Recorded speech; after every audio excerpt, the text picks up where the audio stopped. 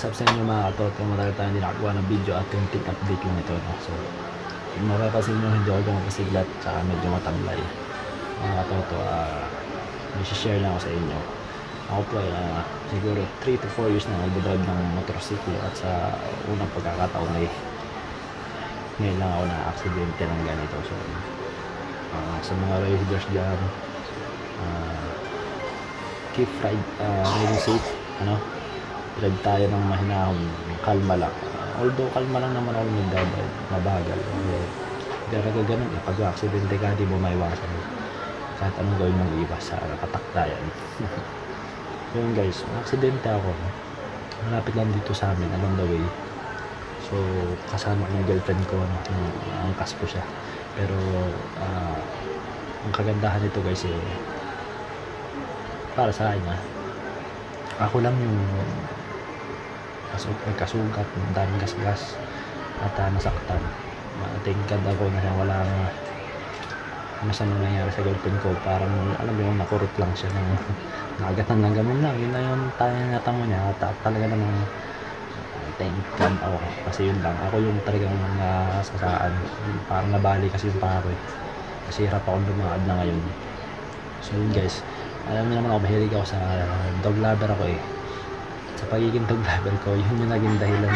Hindi ko alam dog lover kasi ako pero yun, yun yung naging dahilan kung ba't ako naging accident. Kasi may tumawid na aso guys.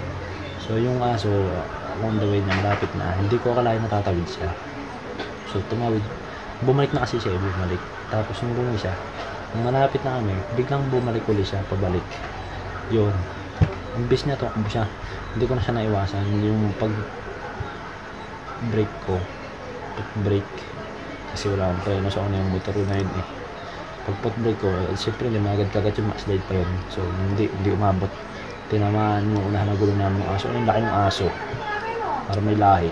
Tagang talsik ang taob ako. So nung tataob na patagilid pa una. Kasi alam ko dadaga sana. Um, magdadaga sana nga guys yun nga. Yung tutumba na ang ginawa ko bumitaw na ako sa Manabela hinara ko na yung katawan ko doon sa gilid kasi doon tumbay. Hinarang ko na kasi alam ko doon din yung bagsak ng girlfriend ko pauna yung persa eh. So ang ginawa ko parang sinalo ko na siya. Kasi hinarang ko yung katawan ko para yung girl kasi parang girlfriend ko hindi siya na magkameron ng madaming gasgas. Kung magkameron ng minimal lang. So eventually uh, thank God ako kasi talagang wala halos siya nakuha ng gasgas. Kasi iniharang ko talaga katawan ko. So nadaganan niya ako pati yung motor nadaganan ako tsaka yung kanan pa ako nadaganan ng apakan yung sa preno. Nadaganan siya kaya yung pa ako talaga malala ang tama.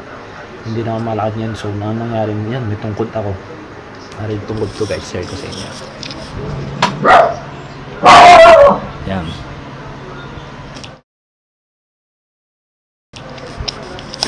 Yung tungkod ko guys. Tapos syempre hindi ko napakita sa yung, yung sugat ko kasi medyo uh, nasty medyo nakakadiri ano. Pero, patuyo na siya. May bali lang yung pa kaya earphone lumakad so yun uh, kahit na, na-realize na tutunan ko dito guys uh, kahit anong ingat mo mag-drive kahit anong ingat mo mag-drive kahit matagal ka nagdadrive pag ma-aksidente ka ma-aksidente ka talaga.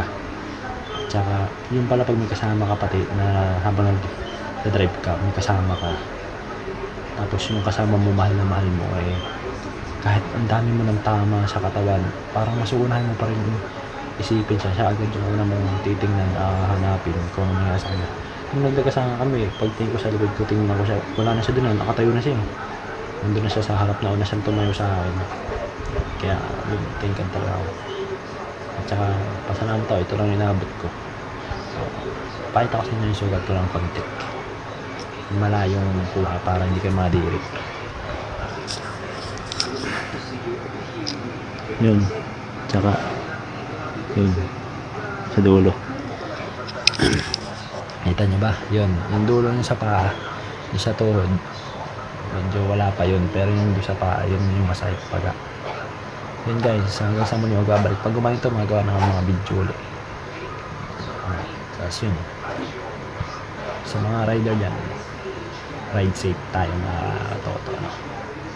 so like comment and subscribe kayo dyan. And share na rin. Let's go. Pasasara sa energy ko medyo mahina kasi may sinat ako eh. So bye bye